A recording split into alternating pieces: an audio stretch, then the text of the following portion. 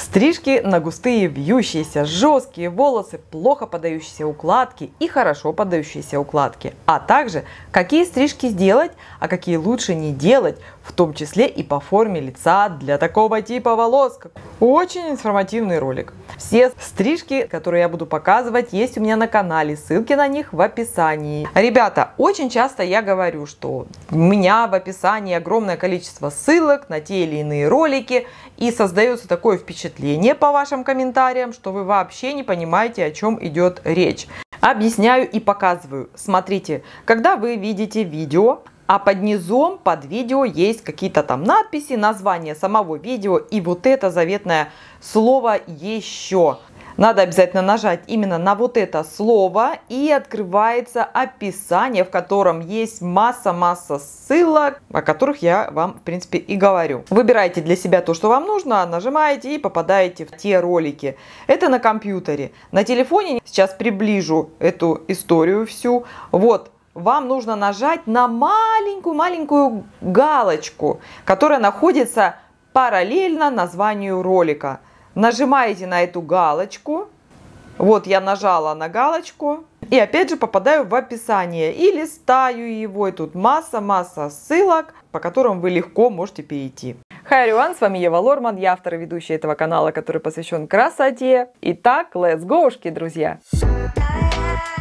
И смотрите видео до конца. В конце вас ждет объявление. Итак. Особенность густых волос в том, что их много. И чтобы стрижка смотрелась красиво, нужно знать некоторые особенности. Например, вот такие волосы. Это густые и жесткие волосы. Первое, что не любят эти волосы? Высокую градуировку. Вот удачный вариант стрижки. Это каскад низкий с низкой градуировкой. Волосы шикарно укладываются в клин самостоятельно. Это огромный плюс. И при этом густота волос у лица разрежена и красиво окаймляет форму лица. А вот каскад с высокой градуировкой. Красиво, но это уложенные волосы. Да, волшебно, но каждый день так укладывать не будешь. В итоге они будут выглядеть вот так. Без обид, пожалуйста, но как говорят наши клиенты, меня подстригли, как будто кошки подрали. Ну или вот так будут лежать волосы, если их причесать. Кому нравится, тогда ок. А вот стрижка итальянка с сильно профилированным низом. Опасность в том, что тут слишком редкий низ, и он обязательно нарисуется в этой стрижке, так как это смысл итальянки. Низ в итальянке чаще всего реже по сравнению с верхом. Поэтому да, если вам не нужен такой эффект, то со стрижкой итальянка с филировкой низа будьте аккуратнее. Идем дальше. Если длинные волосы не ваши, но хочется длину, то каскад Рапсодия Вера шикарный выбор. У нее тоже нет высокой градуировки и эту стрижку легко укладывать. Очень красиво она смотрится и на густых жестких волосах, и на густых и тонких волосах. Это тоже очень важно, так как тонкие волосы вообще практически не держат укладку.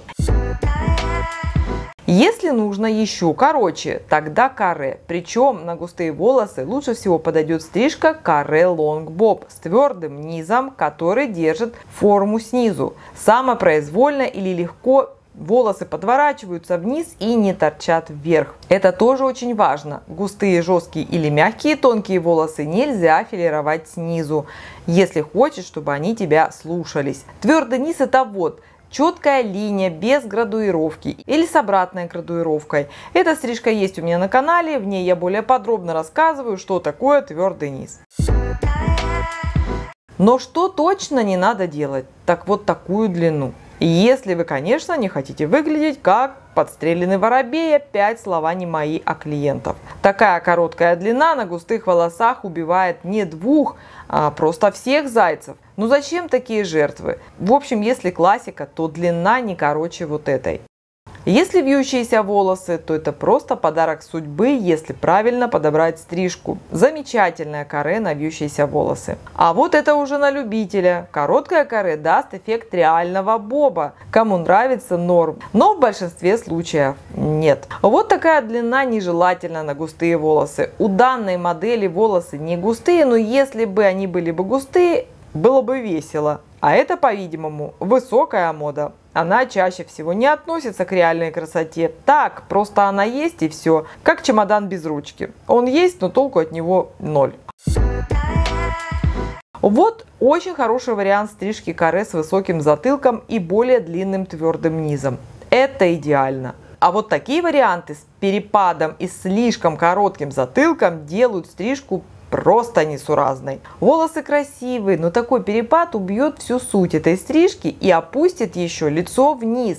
Есть понятие лифтинг-эффект anti-age для людей, которые хотят выглядеть помоложе, а это будет полная противоположность этому эффекту. А кто любит рвань, то на густые волосы можно и порвать волосы бритвой, чтобы придать движение вот такой стрижке. Кому больше по душе гладкие укладки, тогда все-таки light bob, но без фанатизма. Обратите внимание, что низ торчит в разные стороны. Хорошо это или плохо это решать вам, но чаще всего это не нравится, потому что волосы не усмирить. Поэтому лучше без филировки нижних слоев, а только сверху, как я себе делала в стрижке лайтбоб. Вот тоже сделана градуировка и волосы торчат. Уложить их будет проблематично, и этого хватит только на несколько минут, а потом они все равно примут исходную форму. Очень круто смотрится стрижка шеги на густые и волнистые волосы. Эта стрижка создана для такого типа волос. Вот еще вариант шеги, но с рваными концами. Да, это непривычно, потому что волосы торчат, но есть определенная масса поклонников таких стрижек. И да, рвань, конечно, делает свое дело, уменьшает объем, а это спасение для многих. Вот отличный вариант для густых и вьющихся волос каскад под 360 градусов. Это тоже просто находка для таких волос, потому что они сами как будто бы просят подстричь их по этому подобию. Таким волосам и укладка не будет требоваться. Главное не филировать волосы, тогда они будут послушными. Эта стрижка есть тоже на канале. Более короткая с укладкой вниз будет выглядеть вот так. А если отросла, то вот такие кудри. Надоели кудри? Низ можно подстричь просто ровным срезом и получим твердый низ с эффектом каре и градуировкой по сфере верхней части. В общем, это очень легко все трансформируется. Далее хорошо на густые и жесткие волосы стрижки Sassoon. Но это очень редко сейчас встретишь, так как Sassoon это ретро-стрижка, а у нас сейчас тренд это anti-age, лифтинг эффект. Но поклонники все-таки этой стрижки есть. В общем, она тоже создана для такого типа волос. Что касается более коротких стрижек, то надо понимать, что они тоже должны делаться с учетом густоты волос, чтобы не было перегруза верха на фоне полного отсутствия низа. Но актуально это только для тех, у кого высокое или длинное лицо, тонкий подбородок, а в целом это очень красиво, прикольно, стильно, модно, молодежно. Можно творить на голове чудо чудное и будешь выглядеть с ног сшибательно. Это стрижка Pixie Long. Один из лучших вариантов для таких волос. И всякие издевательства над волосами в виде мегафилировки, поинтинга, хаотичного бритвенного катка, все это будет только украшать такую стрижку. Но это актуально только на густых волосах, потому как эти издевательства однозначно убирают объем. Также классно будут и Pixie Medium, но надо будет уменьшить объем и опять же методом филировки.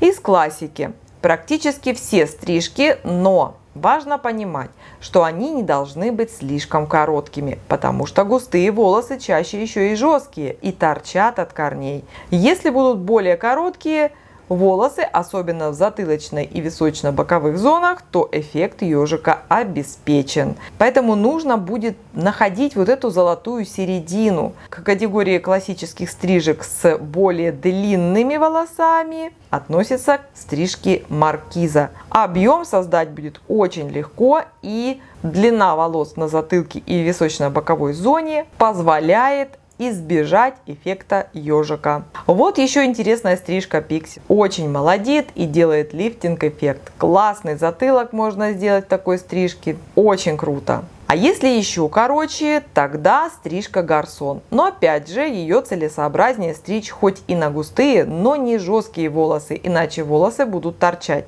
Сверху ладно, может быть так и задумано, а вот в височных зонах не очень. Придется тогда брить, как, например, в стрижке андеркат. Это тоже очень правильное решение, если вы экстремал. Вообще никаких заморочек насчет укладки и ты в тренде полном. Только поддерживать такую стрижку надо чаще, чем обычную. Через каждую пару недель брить виски, тогда будет самое то. И еще небольшое объявление для вас. На вопросы оперативно я отвечаю первый час после выхода нового видео. Поэтому Следите за выходом, чтобы задать свои актуальные вопросы. И даже если тема видео не относится к теме вашего вопроса, можете спокойно задавать. И еще небольшое объявление для вас. Дорогие подписчики и гости моего канала, у нас с вами появилась возможность общаться в прямом эфире. Для этого я поменяла формат своего еще одного YouTube канала и переназвала его в Ева Лорман «Прямые эфиры». Ссылка на него под видео. Я сейчас везде есть. Это для того, чтобы мы не потерялись, а время покажет, где мы будем максимально активными. Подписывайтесь на канал, жмите на колокольчик, чтобы получать новые уведомления. А я на этом канале снимаю ролики для вас и показываю все тонкости работы мастера индустрии красоты. Bye-bye, everyone! С вами была Ева Лорман. И до встречи в новых видео. Эй, народ, не скупись, лайк поставь, подпишись, колокольчик тут же жми, делись со всеми, не томи, хватит даме танцевать, пора идти видос снимать.